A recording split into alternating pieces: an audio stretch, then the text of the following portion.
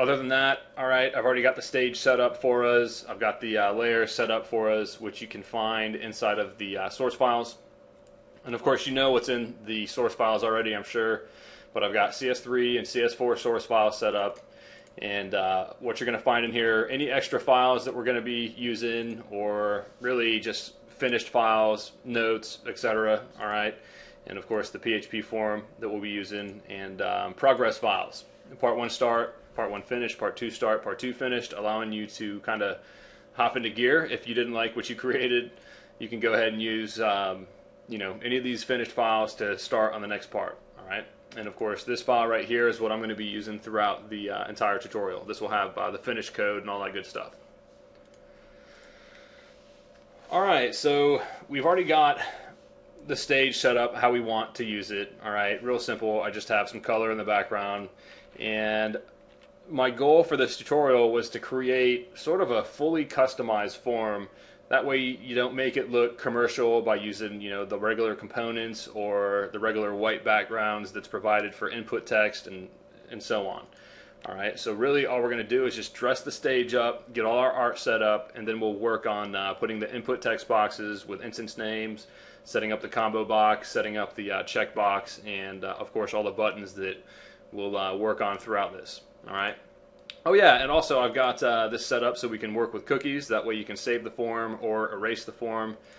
It's kind of uh, pretty cool stuff. So let's go ahead and set up what we need to set up. And what I'd like to do first is just go ahead and draw the um, input text box backgrounds. All right, so what I'm going to do is I'm going to grab the rectangle tool. Okay, I'm going to come and grab my stage color, which is threes across the board. That's what this is. Obviously, you can use whatever you want, but that's what I'm going to be using. I'm going to grab the layer down here, and let's see. I'm just going to draw a little rectangle out here. End up resizing this eventually. All right, but that should be a good start. So the next thing I'm going to do is I'm going to get the text tool, okay? And as far as the properties that I'm using, for now I'm just going to stick with static text. All right, I'm going to leave this at uh, Arial bold. Uh, size 11 is good. I'm going to have this align right. And that's really all we need for right now. Okay, so I'm just going to drop this in here. Really just going to put this as business name.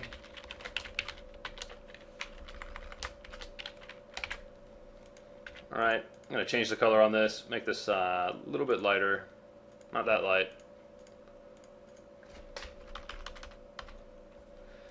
Convert to symbol, send underscore btn. All right, so we need to throw some instance names on these as well.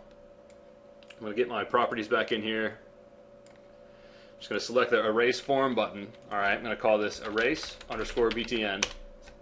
Okay, grab the save for button, save underscore btn.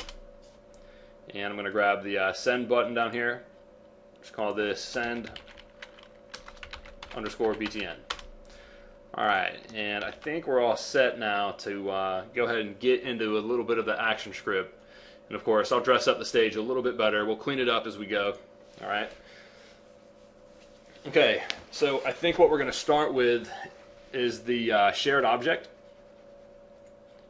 All right, so what we need to do is go ahead and grab that layer, all right, and I'm just going to bring my actions in. If you don't know where to get your actions, you can either hit F9 or come up here to Window and select Actions, all right. Okay, I'm just going to uh, size this up. Remember, I grabbed this layer right here, all right, and setting up the uh, shared object is fairly easy. Uh, we've got a lot of repetitive stuff or stuff that's going to seem like we're doing it repetitively, but this uh, should turn out to be fairly good. So uh, basically what we need to do is create a variable and actually name it as the cookie. All right, so we're going to say var f underscore cookie colon shared object equals shared object dot get local, basically telling them to look for it on the user's computer. All right, and then uh, we can basically name the name of the cookie here. I'm just going to call this uh, n underscore f underscore cookie. You really call this whatever you want. Closing parentheses, semicolon. All right. And we're going to create an if statement, basically setting up what the cookie is going to uh, look for as far as data and stuff like that. All right. So here we're going to say if opening parentheses f underscore cookie dot size. Let's see, explanation point equals uh, zero closing parentheses opening bracket. All right, and here's where we're going to reference all the instance names for everything we just created. All right, except for the check box. Checkbox. We're going to say uh, bus underscore name dot text equals f underscore cookie dot data dot bus underscore text semicolon. All right, and what we're doing here is we're referencing the instance name of the text, and we're actually going to call the data that's inside of the business name text, all right, as bus text. Now, this is very important because this isn't true for the combo boxes, but ultimately later on you'll see where we're going with this. All right, this is what we're going to refer to basically transfer the data at, as far as the PHP goes. All right, so ultimately this is what the PHP is going to be reading. Okay, the combo boxes are going to be a little bit different because we're going to have to rename uh, this value for the combo boxes. Okay, and I don't want that to be confusing. All right, basically just ignore what I said, but uh, we need to set this up for everything. All right, name underscore name dot text equals f underscore cookie dot data uh, dot um, name underscore text semicolon. All right, email underscore name dot text equals f underscore cookie dot data dot email underscore text semicolon uh, telephone underscore name dot text equals f underscore cookie dot data dot telephone underscore text semicolon all right and then of course brief underscore name dot text equals f underscore cookie dot data dot brief underscore text semicolon. Okay, and for the uh, op1 name and op2 name, basically our combo boxes, what we're going to be doing here is setting the selected index. So we're going to say op1 underscore name dot selected index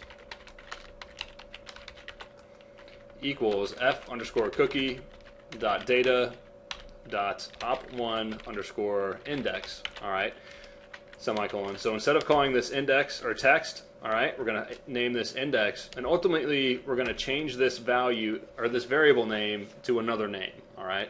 And I don't want that to be confusing. However, the text is going to equal the data that's going to go into this text, all right, as far as the cookie goes, okay?